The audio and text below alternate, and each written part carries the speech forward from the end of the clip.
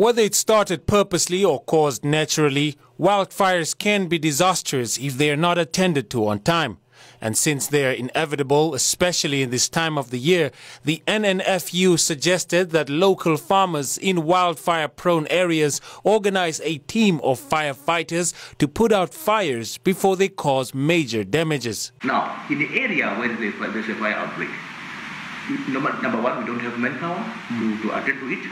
Uh, the response we are getting, if they may be, they may, they may come a, a day or two or three days late, mm-hmm. and, the damage is on and on.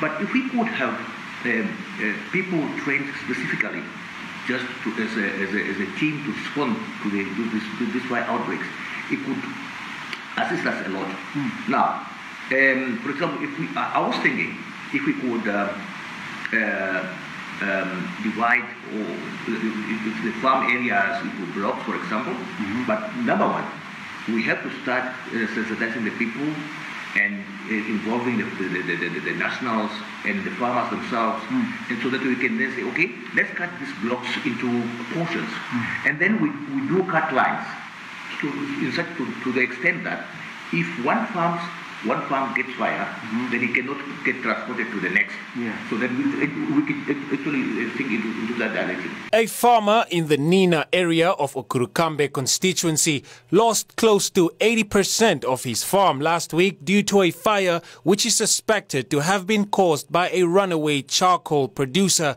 seeing the fact that he hasn't experienced anything of this sort for at least 25 years. We don't really know what we have heard, and this is just hearsay. Mm-hmm so I can't uh, say that it is factual, but hearsay is that it was a, a, a runaway fire from uh, charcoal operators. It's easy to say it's fire season. You understand what I'm saying? Yes. But if, if people don't adhere to the regulations, it makes it so much worse.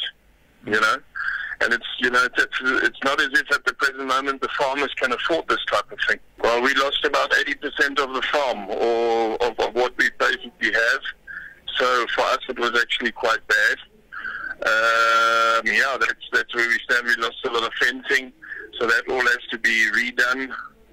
Um, we will see. We're hoping for early rains. We don't know. Otherwise, we must make arrangements to uh, find grazing for our cattle. The Namibia Charcoal Association told Today on One last week that it is difficult to confirm whether or not the fire was caused by charcoal producer in that area. However, an investigation into the matter is underway.